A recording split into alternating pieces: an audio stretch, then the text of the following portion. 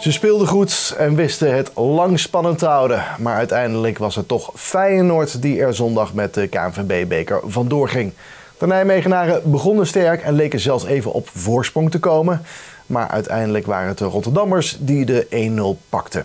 Na een afgekeurde 2-0 en een rode kaart bij de thuisploeg bleef die 1-0 ook de eindstand. Teleurstelling bij NEC-supporters, maar natuurlijk ook wel trots.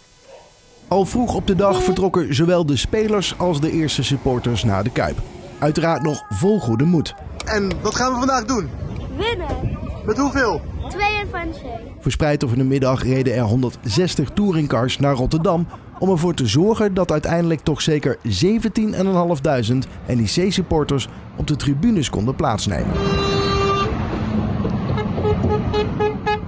En dat bleef ook zeker niet onopgemerkt. Het waren vooral de Nijmegenaren die de sfeer maakten in de Kuip. Met onder meer enkele sfeeracties waar grote spandoeken bij kwamen kijken. En natuurlijk van begin tot het einde het bekende gezang.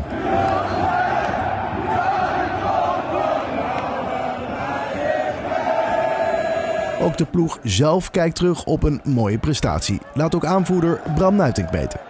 Ja, denk ik wel. Ik denk dat wij er vooral in het begin heel goed op zaten. We wonnen veel duels, uh, waardoor wij gewoon lekker in het spel kwamen. Feyenoord kwam er niet goed door. Uh, wij creëerden kansen, wat ik net al zei. Uh, en daardoor was het misschien intens. nou, in de tweede helft werd het wat intens, omdat Feyenoord wat meer ging drukken en die rode kaart erbij. En dan krijg je een beetje dat, die strijd.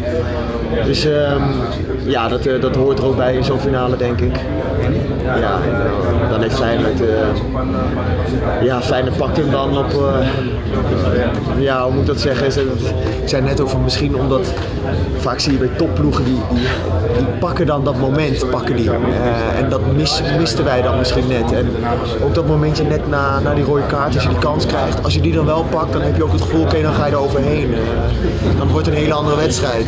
Logisch als je met een man meer staat. Maar dat gebeurt nu niet. En kijk, Feyenoord pakt dat moment wel en wij pakken dat moment niet. En dat is misschien dan het verschil. Het verlies kwam uiteraard ook bij de spelers hard aan. Zij werden na afloop opgevangen door algemeen directeur Wilco van Schaik. Heel veel spelers zijn toen ze hier waren gelijk met hun familie in huis gegaan. Een paar spelers zijn nog naar boven gekomen. We hadden even hier een, een afterborrel, ook voor de mensen die zo hard gewerkt hadden. Hun familie kwam ook binnen. Ja, dan moet je dat wel even met elkaar verwerken. En dan, uh, dan krijgt het een eerste plekje vandaag ook uh, met elkaar. Maar dat doen we ook gewoon met elkaar. We gaan zo even met elkaar lunchen. Maar ook terugkijken. We gaan niet te lang blijven hangen in het negatieve. We hebben het echt geweldig gedaan. De reis er naartoe, die wedstrijden in de beker. En het seizoen is nog niet klaar we hebben nog een, vijfde plek om voor te voetballen. We hebben nog de play-offs om voor te voetballen. Dat hadden we ook nooit kunnen bedenken aan het begin van het seizoen. Dus ja, dit kan nog steeds een heel mooi seizoen worden. Uh, waardoor we nog een keer hierachter op dat bordes terechtkomen. En dat, moet gewoon vanaf woensdag, dan gaan de spelers weer trainen, moet dat weer de insteek worden. Ben je niet bang uh, dat uh, de klap zo hard is dat dit als een nachtkaarsje uitgaat dit seizoen? Nee, ik denk, weet je, er zit zoveel kwaliteit in onze ploeg. Er zit zoveel kwaliteit in onze club. En er zit zoveel kwaliteit in onze supporters. Ik denk dat we gewoon even deze dagen moeten gebruiken. Uh, het mooie eruit moeten pakken. En dat kan pas als je 24 uur later bent. Als je 24 uur gerouwd hebt. Maar we gaan echt het mooie eruit pakken. En we gaan super trots naar de toekomst toe. Uh, dit is een geweldige club die alleen maar aan het groeien is. En ik zeg het al, we zijn onderweg. En we zijn ook voor dit seizoen nog onderweg. Maar ook voor de komende jaren. Dus ik heb er alle vertrouwen in. Uh, het is pittig voor de jongens. Want als je zo dichtbij geweest bent ja, ga dat maar even in een week mentaal weer omzetten. Maar ja, zondag zit die bak gewoon weer vol, uitverkocht. Ja, en ik denk, als je onze supporters hebt gezien, dat die echt onze spelers er ook wel weer doorheen trekken. Nou, mevrouw, dat vind ik leuk dat u dat zegt hoor. Ja. Zo hard gewerkt. Ja, maar dat... dat is geen schande. Ja, top, dank u wel. Ja. Ik zal het doorgeven. Nou ja, dit soort dingen zijn natuurlijk hartstikke leuk. Hè? Twee oude vrouwtjes, kijk, ze lopen heerlijk.